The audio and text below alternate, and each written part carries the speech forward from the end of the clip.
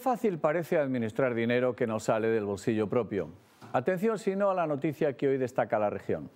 El Concello de Urense acumula deudas con policías locales y bomberos. Además, la organización del trabajo deja aspectos tan llamativos como que los turnos en la policía local se hacen así. 30 policías patrullan y 50 descansan. Un refuerzo de fin de semana se paga a 400 euros la noche. Asuntos como el descrito deberían escandalizar a la mayoría de los ciudadanos, pero esto es como el casino de la película Casablanca. Se juega a diario hasta que alguien da la sensación de escandalizarse porque se juega efectivamente.